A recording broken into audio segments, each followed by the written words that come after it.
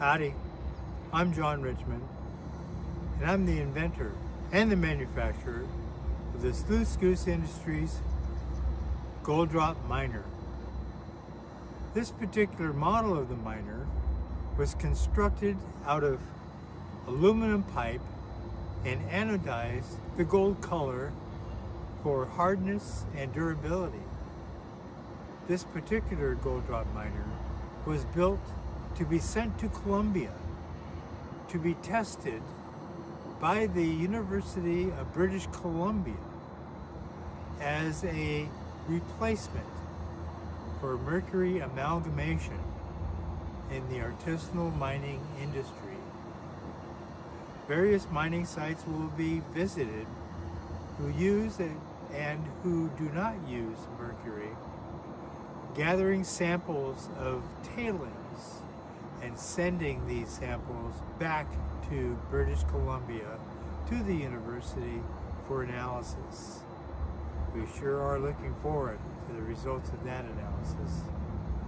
In the meantime, this video, I will be processing two bags of Sakrete multi-purpose sand that I purchased at the Lowe's store here in Albany, Oregon.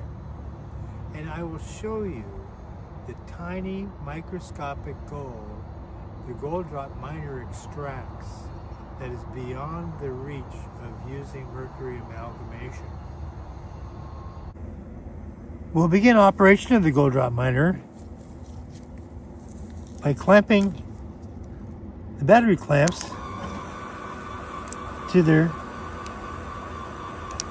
positive battery post. One operates this 12 volt pump, which is the wash pump for washing material through the screen into the gold drop. And the other one is for the pump that is actually pumping the water through the gold drop. The principle of operation of the gold drop miner is basically that of gravity. So as you are adding dirt into the screen here and washing it in with the water, that washes down into the trap of the body. Well, the exit here is at a lower level than the entrance of the dirt so that as dirt is coming in, it displaces the dirt that's in the trap up and out and into the tailings bucket. So as the water comes into the tailings bucket, as the level of the water changes and rises in the tailings drum, that forces the water through these siphon hoses and into the pump drum to maintain level water between the two drums. And that's how the water recirculates through the gold drop. The water that's siphoning into the pump drum is minus the solids that is draining into the tailings drum and therefore the dirt and the silt can dirty the water, but it does not interfere with the operation of the gold drop system. This is the sand purchased at my local Lowe's store here, Sakrete multi-purpose sand that I'll be processing through the gold drop. And it's just, just basically just sand is all it is. But we'll extract the gold that's hiding in this sand, no doubt about it.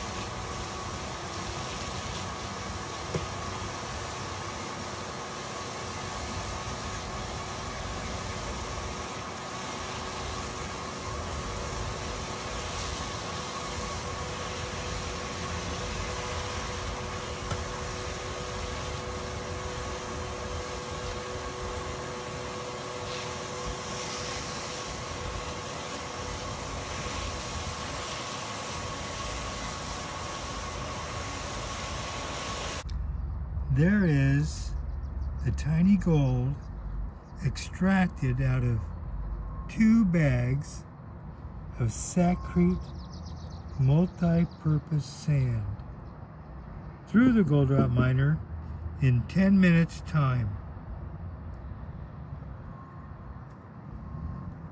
That will dry it up and get even closer and take a look at these gold particles.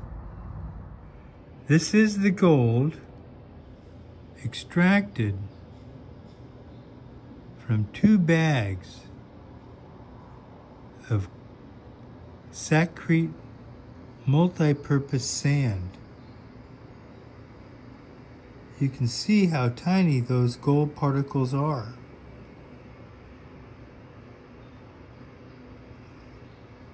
This is probably all gold, unrecoverable, using mercury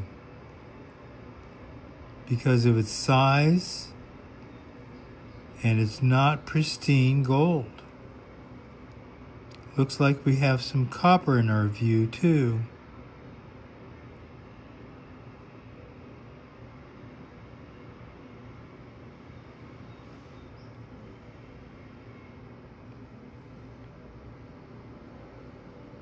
Pretty tiny stuff. So there you have it.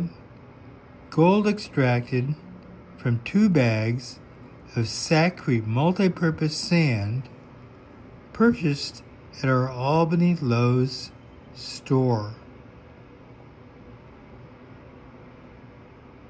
Not much there, but the value is in seeing that the gold drop miner can extract this tiny gold beyond the reach of mercury.